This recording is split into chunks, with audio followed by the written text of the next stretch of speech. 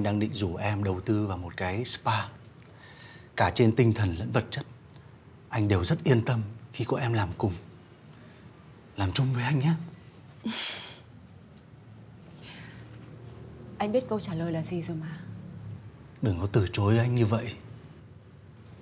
Vì em không có tiền Với lại em cũng không muốn đầu tư gì vào lúc này cả Em cứ đùa anh. Nguyên khoản đầu tư ở cái đầm tôm mà thực chất là cái căn biệt thự đấy. Tiền vẫn đang nằm trong tay em mà.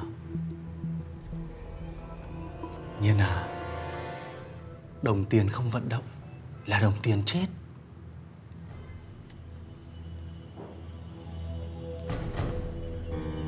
Nhưng mà nó sống hay chết Lại không liên quan gì đến anh cả Đừng có kỳ vọng gì ở em Bởi vì chúng ta đã quá rõ nhau Nên chắc anh cũng hiểu. Em là người rất ngại với những rắc rối phát sinh. Lại càng không thoải mái với những sai số. Ngân Hà. Em tới rồi. Sao anh biết hôm nay tôi đi khám? Hồi nãy Mỹ Đình có nhắn với anh. Lần sau anh đừng làm thế này. Mất công mất việc của anh ra Mà tôi cũng thấy ngại à, Thủ tục ly hôn của tôi đã hoàn tất rồi. Thật lòng tôi rất cảm ơn anh Vì những gì anh đã giúp tôi.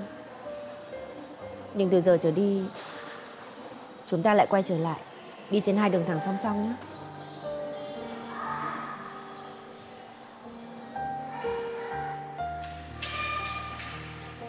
Được.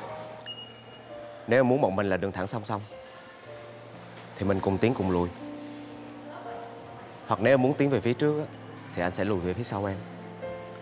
Miễn sao mình đừng xa nhau quá.